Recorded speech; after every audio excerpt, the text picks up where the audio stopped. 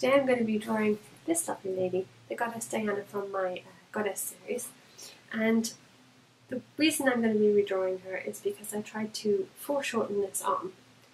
But when I actually looked back on it after I'd coloured it, I realised that the foreshortening is actually wrong, and instead of looking foreshortened, it just looks like a fat, stumpy arm, which is not appropriate for a goddess. So, I took the sketch into Photoshop and I extended the arm and I lengthened the bow so that it goes off the page. Let's get started, shall we?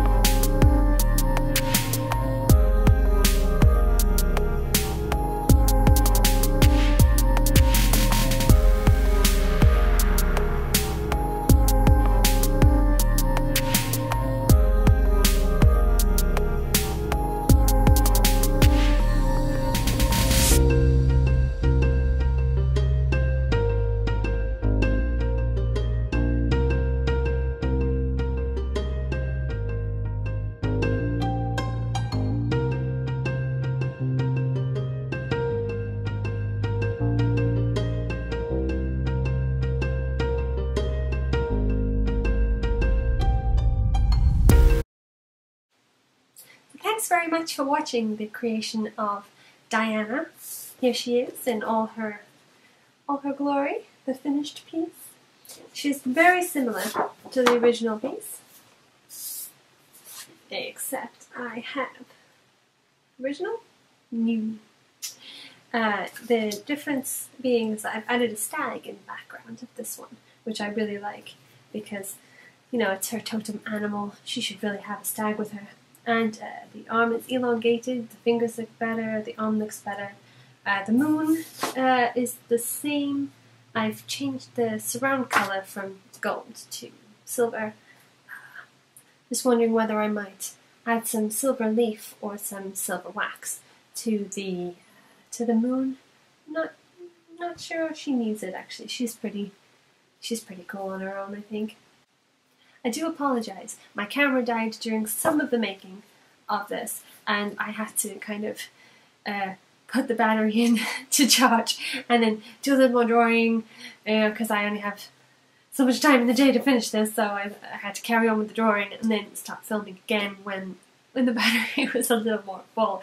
So I do hope that you kind of got the gist of how I created her and uh, my process of using marker, pencil, and pastel uh, in order to create these lovely, these lovely ladies. I hope you enjoyed the making of, and I hope to see you again soon.